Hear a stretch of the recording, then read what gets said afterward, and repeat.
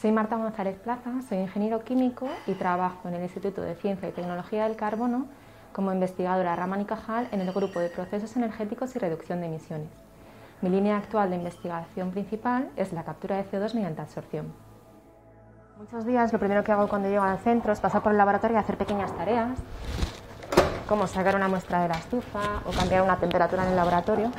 Y después generalmente me dirijo a mi despacho, donde lo primero que hago es comprobar si tengo llamadas pendientes, tengo correos.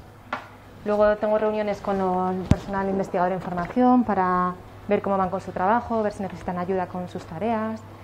Eh, respondo emails, eh, eh, trato datos, a veces también sigo los experimentos en remoto desde mi despacho, llevo a cabo simulaciones, cálculos, analizo resultados, escribimos artículos, también a veces eh, pedimos proyectos. Como veis, la tarea de un investigador no es solo en el laboratorio, sino que requiere también mucho, mucha tarea de despacho. De hecho, generalmente el tiempo que pasas en el laboratorio es inversamente proporcional al tiempo que llevas en la carrera investigadora.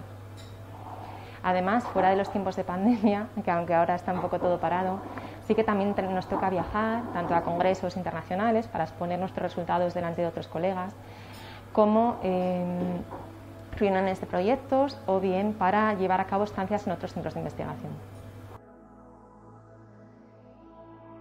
No creáis que todos los científicos nacemos sabiendo que queremos ser científicos. En mi caso, en el, ni en el colegio ni en el instituto, tuve la oportunidad de pisar un laboratorio. Afortunadamente, en ese sentido, las cosas han cambiado mucho. Hoy en día, los, los centros de enseñanza están equipados con laboratorios, los grupos de estudiantes son mucho más reducidos que lo que eran en mi tiempo y los centros de investigación colaboramos con los centros de enseñanza para llevar a cabo tareas de divulgación de la ciencia. En mi caso, cuando me tocó decidir la carrera, todavía estaba un poco desorientada y elegí ingeniería química porque era una carrera nueva de la que me habían dado muy buenas referencias.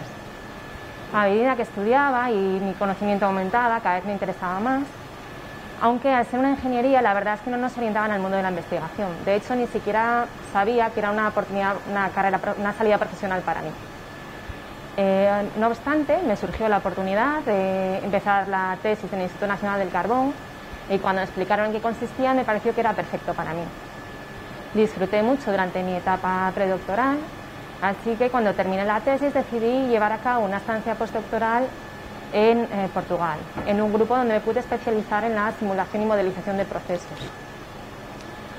Tras dos años en Portugal me reincorporé al Instituto de Ciencia y Tecnología del Carbono con un contrato postdoctoral y actualmente he ido enlazando distintos contratos y actualmente he superado eh, la oposición de científico titular.